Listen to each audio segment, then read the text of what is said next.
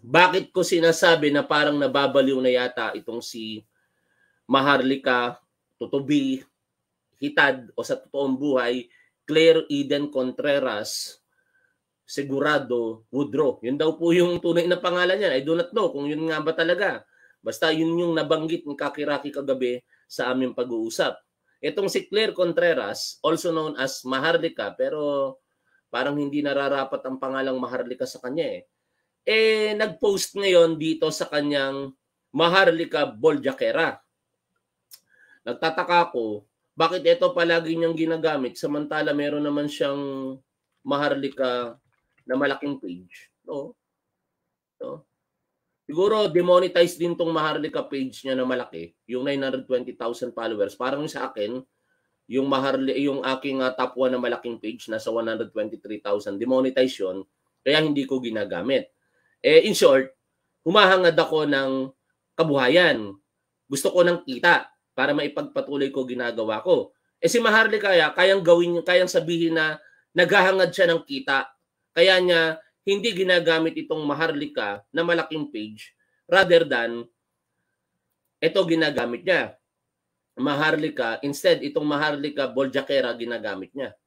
Ito, yun nyo. Share-share lang siya, pero wala siyang live dito sa kanyang malaking page. O, baka, baka demonetize, ano?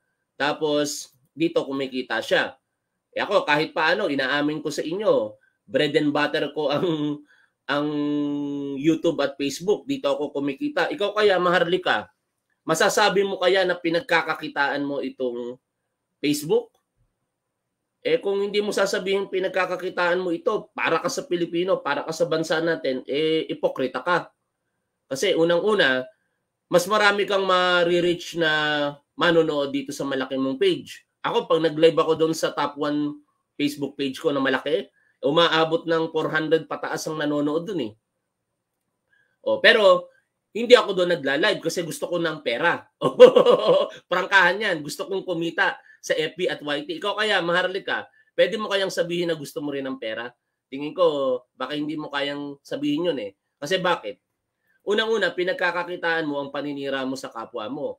Ako, kahit kumikita ako dito, hindi ko pinagkakakitaan ang paninira ko sa kapwa.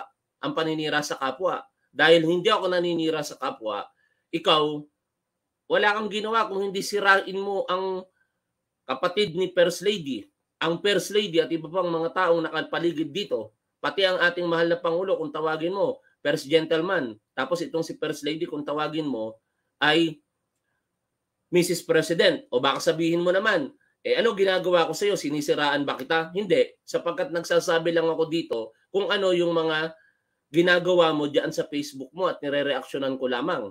Hindi ko hindi ako gumagawa ng mga kwento-kwento dito. Ngayon, bakit ka parang nababaliw? Kasi ito, akalain nyo mga tol, nagkaroon ng restriction ang kanyang hindi natin alam kung ito bang Maharlika Bojakera o yung Maharlika na malaking page o yung admin na ginagamit niya dito sa Facebook na ito. Sabi niya, Mrs. President Lisa Marcos, alam ko nakipag-meeting ka sa Facebook Singapore.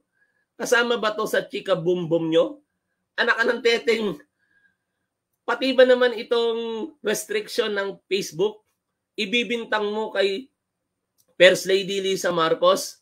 Wag nga kami, maharlika, lalong-lalo ako. Vlogger ako, alam ko ang nangyayari every now and then kung bakit nagkakaroon ng mga ganitong pangyayari sa Facebook. Ano ba ang mga dahilan mga tol? Una, basahin ko muna yung nakalagay po dito sa photograph. Kasi sabi dito sa photograph na shinare niya, you can share at the moment. Ano? To prevent any misuse, we've temporarily restricted your ability to use this feature on Facebook. You can try again later. Tapos merong option okay or disagree with decision. Ngayon, bakit nangyayari ito mga tol? Unang-una, hindi ito kasalanan ni First Lady at ng sino mang tao maliban sa gumagamit ng Facebook. Sino ba ang gumagamit ng Facebook niya? Siya mismo. Paano nagkakaroon ng Facebook page. Ipapakita ko sa inyo mga tol. Ang Facebook page ay parang ganito nag-ooperate. Una, dapat meron kang admin. Ibig sabihin ng admin profile, ito yung Facebook profile na ginagamit mo. Katulad nito, top 1, RCRIM. Ang ibig sabihin ng RCRIM, Registered Criminologist. Yan po yung Facebook profile. Magkaiba po ang Facebook page at saka Facebook profile. Ngayon, kapag ka ikaw ay gumagamit una ng Facebook profile mo at naglalabis ka sa pag-share, sa pagla-like, sa pagre-react sa mga comment sa mga post o comments ng isang tao, there is a possibility na ba-violate mo yung community guidelines ng Facebook for spam messaging, spam reactions, and others. Kaya nga kung titingnan po natin muli, nakalagay po dito, to prevent any misuse, we've temporarily restricted your ability to use this feature on Facebook. Ibig sabihin, meron pong misuse na nangyayari. Either sa profile mo o sa Facebook page mo. Itong nakikita ninyo, ito po yung profile. Ngayon, magsi-switch ako sa Facebook page. Ito naman po yung Facebook page ko. Hindi ka magkakaroon ng Facebook page kung wala kang FB profile. Babalik tayo. Balik tayo ha, turuan ko lang kayo. Ganito po yan eh. 'Di ba may FB profile po kayo? Karamihan po sa inyo ang ginagamit nyo FB profile. Para makagawa ka ng page, i-click mo lang tong plus sign, create, tapos may mga options po dyan. Post, story, room, page. Add group, event, marketplace, listing. Pagka gusto mong gumawa ng page katulad nung pinagdadaanan po natin ngayon, pinagdadausan po natin ng programa, i-click mo lang yung page. Click mo lang yan. Tapos magkakaroon ka ngayon ng option. Page name, category, bio, cover photo, profile, and others. O balik tayo sa Facebook page. Kunyari, nakagawa na ako ng Facebook page. Ito na yon yung ginagamit ko ngayon. Ngayon, ito, pwede ko po itong gamitin to interact with other profiles or other pages. Kasi ang tawag po dito, new page experience. Di ba? Meron dating lumang pages na mostly kinonvert na sa new page experience. Ang tawag doon sa luma ay classic Facebook page. Classic ano? Sa classic Facebook page, hindi ka pwedeng mag-interact. Hindi ka makakapag-comment using your Facebook page. Pero sa new page experience, parang profile na po ito. Ibig sabihin, pwede kang mag-interact, pwede kang mag-share, pwede kang mag-react, ah, pwede kang mag-react, tama. O halimbawa, ito, magre-react ako, pwede. Magko-comment ako, pwede. Mag-share ako. Pwede. Ngayon, bakit nangyari kay Maharlika ang ganito? Simple lamang ang kasagutan, hindi kasalanan ni First Lady ito. Kasalanan ni Maharlika mismo. Subukan ninyo na itong live streaming ko pero wag niyong gagawin. I-share nyo ng dalawampung beses o higit pa. Damihan nyo ang share ngayon sa live streaming na ito ng one-time share lamang. Share, share, share, share. Palagpasin nyo ng napakarami. Sigurado, marirestrict kayo. Mag-comment kayo ng iisang comment lamang sa isang post. Thank you, thank you, thank you. Ako, madalas ginagawa ko yung para i-appreciate kayong mga manonood. Pero lagi ako napapagalitan ni FB at nangyayari ito kasi nagpapasalamat ako. Thank you, thank you, thank you, thank you. Maya-maya, lalabas na to. You you have you have misuse to prevent misuse we've temporarily restricted your ability to use this feature. O kaya naman ikaw ay umaabuso sa community guidelines. Napaka-sensitive ni Facebook mga tol. Halimbawa, ang salitang kakasuhan. Kaya nga kung mapapansin ninyo, kung babalikan ko po ang aking Facebook page, binabago ko yung mga salita. Bakit? napaka-sensitive niya eh. Algorithm kasi ang nagdadala sa Facebook. Tingnan nyo ito, nababaliw na yata talaga si Tutubi. Pati restriction ng FB sa kanya, binintang na kay First ni na kay First Lady. O, sa kanya binintang na kay First Lady. Parang mali yung grammar ko ah. Pati restriction ng FB sa kanya binintang. Mali, mali yung grammar ko. Sandali, ayusin natin ito. Bakit nagkaganon? Ano? Teka lang, sisip lang ako ng... Ayusin ko lang. Para hindi naman nakakahiya. Sabi ko dito, nababaliw. Pero ano, ano ang napansin ninyo mga tol? Nilagyan ko ng at sign. Pinalitan ko yung letter A ng at sign. Nang sa ganon, hindi mabasa ni FB yung sinulat ko na hindi maganda kasi ang pagsasalita ng nababaliw ay masama sa kapwa. Ang pagsasalita ng pagpapakamatay, masama sa kapwa. Ako, nung sinabihan ako ng magpakamatay ng isang commenter sa inis ko, sabi ko, baka ikaw ang dapat magpakamatay. Eh, maya-maya, nakatanggap ako nito. Ano? Pinarusahan kagad ako ni FB. Kaya dapat nag-iingat. Andali, i-edit lang natin. Nababaliw na yata talaga si Tutubi, pati restriction ng FB sa kanya, binintang kay First Lady, dapat walang na. O yan. Ulitin natin kung nagbago na rito. O sabi po, sabi ko po dito, 'di ba? Nababaliw na yata talaga si Tutubi, pati restriction ng FB sa FB sa kanya, binintang kay First Lady. O. Tapos ngayon sasabihin niya, kasalanan ni First Lady ito. 'Di ba? Sasabihin pa na nakipag-meeting daw sa Singapore si President eh, si Mrs. President Lisa Marcos ang ating unang ginang at kasama nagtatanong kasama ba to sa chika bumbum nila? Anak ka ng teten ka maharlika, ginagawa mo talagang tanga mga manonood mo. Ewan ko na lamang kung kayo ba ay maniniwala pa dito. O ganun yung mga kadahilanan mga tol. Ang pangyayari na ito sa Facebook page ni Maharlika ay walang kaugnayan kay First Lady. Ito ay kasalanan niya. Ito ang parusa sa kanya ng FB marahil sa mga pinagsasasabi niya sa mga nakaraang post niya o kaya yung pag-share niya ng napakaraming share using her Maharlika Facebook page. Kasi baka itong Maharlika at saka itong Maharlika Bojakera, iisa ang admin. Yung pinakita ko sa inyo kaninang profile. Kung hindi man, baka dalawa o higit pa, pero nakakonect parehas sa page ng Maharlika at saka Maharlika Bojakera. In short mga tol, itong ginagawa ngayon ni Maharlika at nagsasabi, ina-associate ang ating First Lady sa pagkaka pagkaka-restricted sa kanya in the meantime ng Facebook ay walang katotohanan. Ito maaaring tumagal ng 24 hours or even a few hours lamang o kaya pwede ring tumagal ng one week, pwedeng tumagal ng one month or pwedeng tumagal ng one year. Yung aking Facebook page ang parusa one year.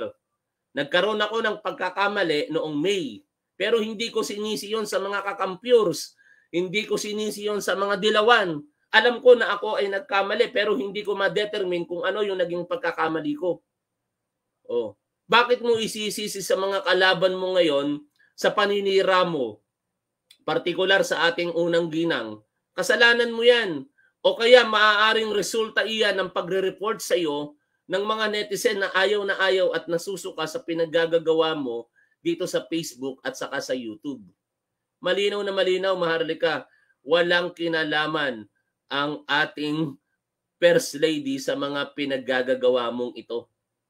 Gagawa ka pa ng chika, sasabihin mo pa, nakipag-ugnayan ang ating First Lady sa Facebook sa Singapore anak ka ng teting ka, merong Facebook dito mismo eh sa Pilipinas. Bakit kung kung alam mo kung nanaisin niya ng First Lady, bakit siya pupunta pa sa Singapore? Eh dito na siya pupunta sa Facebook Philippines. Merong meta company dito. Anak ka ng teting ka. Nakakatawa ka na lang talaga, Maharlika. O ano ba ang masasabi nyo dito mga tol? Itong si Maharlika, tingin ko, nagkakaroon na talaga ng problema sa kanyang sa kanyang sarili. Hindi ko alam kung ito ba ay epekto ng mga naririnig kong rumors. Chismis-chismis lang naman yon na ito daw pong si Maharlika Boljakera ay nagkakaroon ngayon ng mga pagkakalugi sa kanyang mga negosyo at nababaon po sa pagkakautang. Ako, baon din ako sa pagkakautang pero nakarecover na ako sa depression na pinagdadaanan ko. Bagamat ako ay na-depress sa mga nakalipas na panahon, hindi ko pinagagagawa itong ganito.